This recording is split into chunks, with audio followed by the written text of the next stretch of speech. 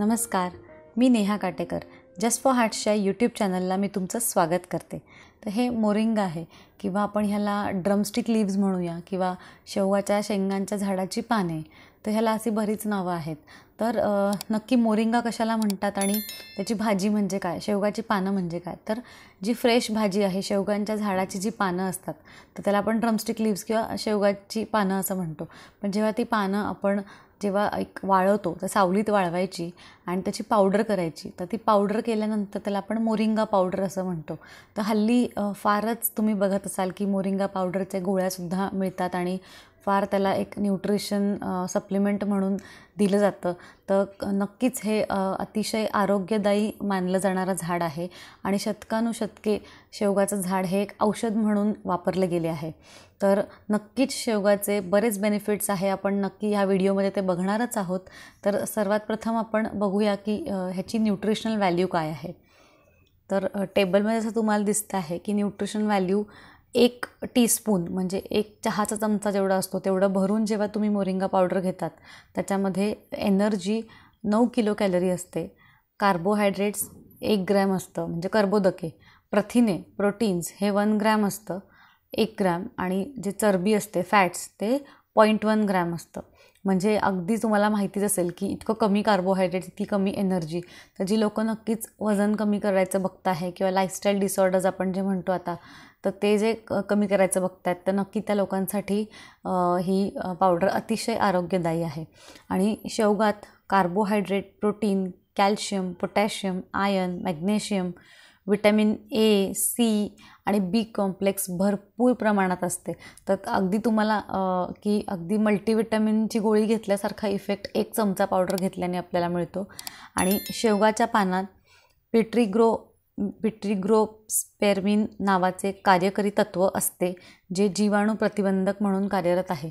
म्हणूनच आपण जे रोगप्रतिकारक शक्ती म्हणतो ती वाढवण्यामध्ये मोरिंगा पावडरचा खूप मोठा रोल आहे. तर ही होती एक न्यूट्रिशन व्हॅल्यू जी आपण बघतो की न्यूट्रिशन व्हॅल्यू खूप छान आहे. त्याच्यामध्ये अगदी पॉवर पॅक्ट विथ न्यूट्रिशन म्हणतात तशी ही पावडर आहे. तर जसं मी म्हटल्याप्रमाणे की ह्याच्यामध्ये भरपूर प्रमाणात कॅल्शियम आयन पोटॅशियम मॅग्नेशियम असतं. तर तुम्हाला माहितीच आहे की गाजरामध्ये विटॅमिन ए असतं दुधामध्ये आपण कॅल्शियम म्हणतो चांगलं असतं किंवा पालकामध्ये आयन चांगलं असतं.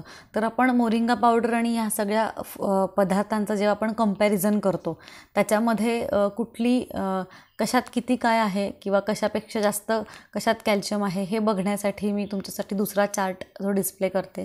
तर त्याच्यामध्ये तुम्हाला दिसेलच. तर शेवगाच्या शेंगांची जी फ्रेश पानं असतात तर पहिल्या ह्याच्यामध्ये मी ते फ्रेश पानांचं लिहिलं आहे आणि दुसऱ्या कॉलममध्ये जी पावडर आहे मोरिंगाची त्याच्याबद्दल आपण लिहिलं आहे.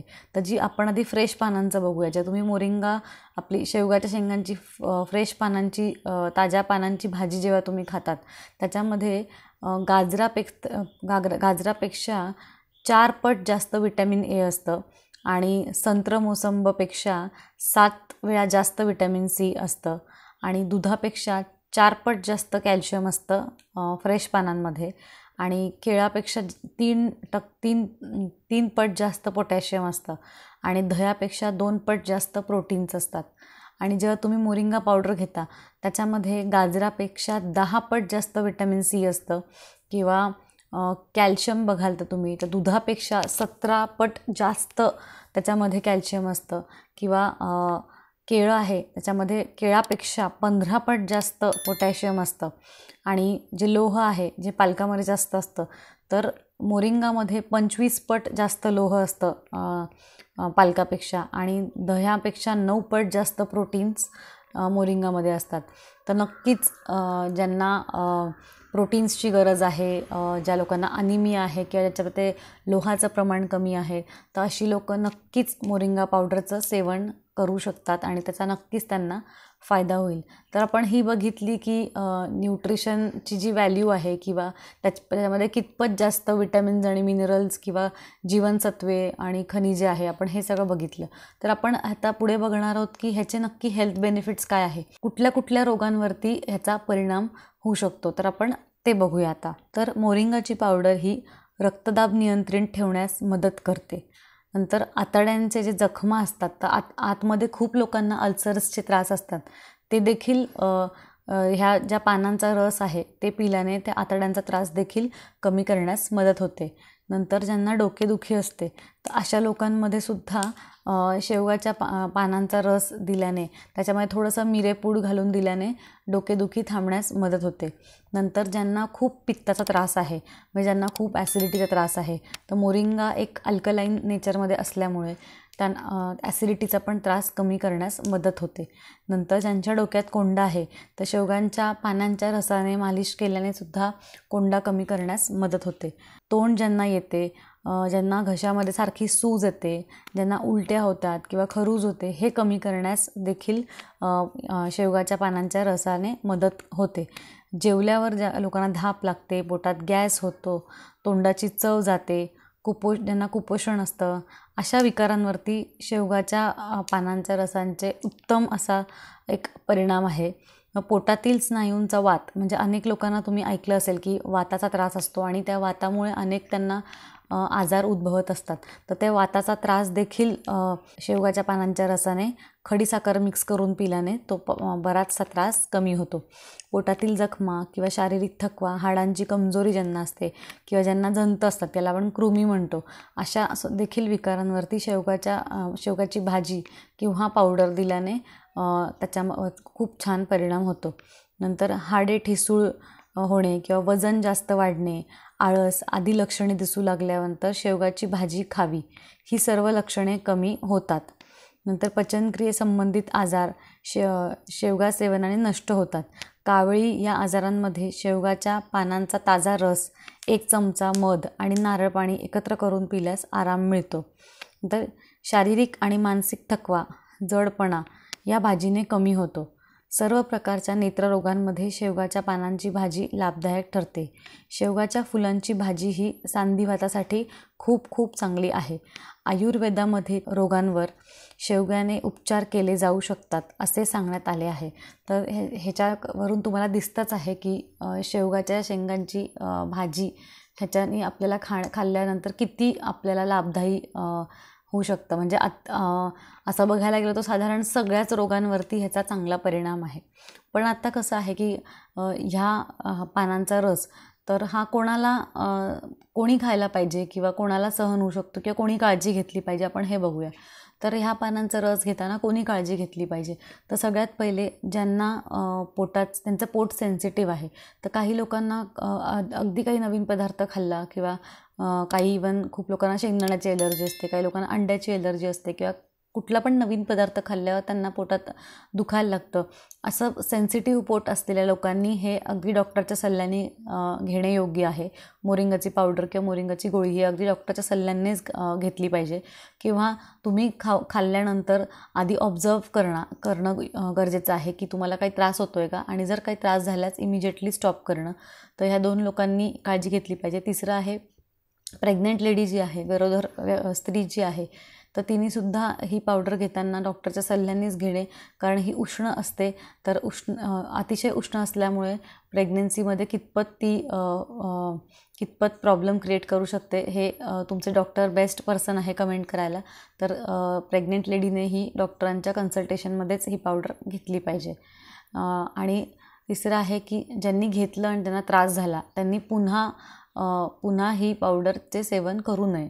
तर ह्या लोकांनी ही पावडर घेणं टाळलं पाहिजे किंवा कमी प्रमाणात घेऊन त्याचं ऑब्झर्व करून मग पुढे जाणे गरजेचे आहे. आणि तर ही किती प्रमाणात घेतली पाहिजे? तर आता आपण कुठलीही गोष्ट सुरू करताना अगदी कमी प्रमाणापासून आपण सुरू करतो. तर साधारण जेव्हा तुम्ही ही नवीन असाल नवीन स्टार्ट करत असाल घ्यायला तर अगदी चिमूटभर म्हणजे आता आपण मी वन टीस्पून सांगितली म्हणजे एक चहाचा चमचा म्हणजे तो पाच ग्रॅम असतो. तर तुम्ही टू पॉईंट फाय ग्रॅमपासून ही पावडर सुरू करू शकतात. एक चिमूटभर पावडर घेऊन म्हणजे अर्धा चहाचा चमचा तेवढा तुम्ही पावडरपासनं सुरुवात केली आणि ती पाण्यातनं घ्यायला सुरुवात केली आणि मग तुम्ही चेंजेस ऑब्झर्व केले तुमच्या शरीरामध्ये. तर हळूहळू हळूहळू तुम्ही ती पावडर वाढवू शकतात आणि पाच gram per day is enough आणि जास्तीत जास्त तुम्हाला हवं असेल तर तुम्ही एक दहा ग्रॅमपर्यंत घेऊ शकता. त्याच्यापेक्षा जास्त गरज नाही आणि बेस्ट टाईम थंडीची वेळ आहे घेण्यासाठी कारण ते उष्ण असतं. अशा पद्धतीने तुम्ही हळूहळू ती पावडर वाढवू शकता. आणि जर तुम्ही पावडर नाही घेतली तर तुम्ही शेवगांच्या ज्या पानांची जी भाजी ती पण आठवड्यातनं एक ते दोन वेळा तुमच्या आहारामध्ये इन्क्लूड करू शकतात. तीसुद्धा अतिशय लाभदायी आहे. आता तुम्ही हे कशा कशा पद्धतीने मोरिंगा हा तुमच्या आहारामध्ये इन्क्लूड करू शकतात? तर पहिलं मी सांगितल्याप्रमाणे की जे फ्रेश ताजी पानं आहे त्याची तुम्ही डायरेक्टली भाजी करू शकतात. तर ती भाजी किंवा तुम्ही चटणी फॉर्ममध्ये त्याचं घेऊ शकतात. सॅलेड फॉर्ममध्ये तुम्ही खाऊ शकतात ती पानं. तर हे तीन प्रकार आहे की तुम्ही भाजीचे किंवा फुलांची ती भाजी करू शकतात. तर हे तुम्ही फ्रेश लिव्सचं करू शकता. आणि जेव्हा ती ही जी फ्रेश लिव्ज आहे ती आणून तुम्ही सावलीत त्याला वाळवणे. सावलीत वाळवल्यानंतर त्याच्या त्याच्या त्याची पावडर करणे. तर ती पावडर त्याला आपण मोरिंगा पावडर म्हणून तुम्ही स्टोअर करू शकतात. आणि ती पावडर तुम्ही पाण्यातनं घेऊ शकतात. किंवा तुम्ही ताकातनं घेऊ शकतात किंवा तुमच्या ब्रेकफास्टवरती तुम्ही टाकून घेऊ शकता तुम्ही जे काही खात असाल त्याच्यावर तुम्ही टाकून घेऊ शकतात किंवा तुम्ही वरणात टाकून घेऊ शकतात किंवा तुम्ही ह्याचे पराठे करू शकतात. भरपूर व्हरायटी आहे की म्हणजे तुम्हाला जर त्याची टेस्ट थोडीशी तुरट असल्यामुळे नुसतं तुम्हाला घ्यायला आवडत नसेल तर तुम्ही नक्कीच दुसऱ्या पदार्थासोबत मिक्स करून तुम्ही ही पावडर तुमच्या आहारात इन्क्लूड करू शकतात. आणि तिसरं आहे की कुठला बेस्ट टाईम आहे तुम्ही घेण्यासाठी? योग्य वेळ काय आहे मोरिंगा पावडर घेण्यासाठी? तसं बघायला गेलं तर मी सांगितल्याप्रमाणे त्यांनी चयापचय क्रिया आपली वाढते. जसं फॅट मेटेबॉलिझम आपण म्हणतो ती वाढते. तर त्याच्यामुळे सकाळी उपाशीपोटी तुम्ही पाण्यातून घेतलं मोरिंगाची पावडर घेतली तर ती लाभदायी ठरू शकते. पण तसं सांगितल्याप्रमाणे की ज्यांना काही त्रास जाणवला तर तुम्ही दुसऱ्या अन्नपदार्थांसोबत मिक्स करून तुम्ही घेऊ शकतात. दुसरी बेस्ट वेळ आहे जेवण झाल्यानंतर पाण्यासोबत घेणे. कारण तेव्हा तुमची फॅट मेटाबॉलिझम वाढतं. म्हणून वजन नियंत्रित ठेवण्यात मदत होते. म्हणून जेवणानंतर तुम्ही घेतली तर ती उत्तम राहील. किंवा ज्यांना झोपेचे प्रॉब्लेम्स आहे त्यांनी रात्री झोपतानासुद्धा तुम्ही पाण्यासोबत घेतलं तरी तुम्हाला झोप लागण्यास मदत होईल. तर असं हे अतिशय सुंदर शेवगाचे बेनिफिट्स मी तुम्हाला समजून सांगितले आहे. तर तुम्हाला काहीही ह्याच्याबद्दल प्रश्न असतील किंवा काही रेसिपीज जाणून घ्यायच्या असतील तर नक्की मला तुम्ही कमेंट सेक्शनमध्ये लिहा. मी नक्कीच तुम्हाला आन्सर करेन.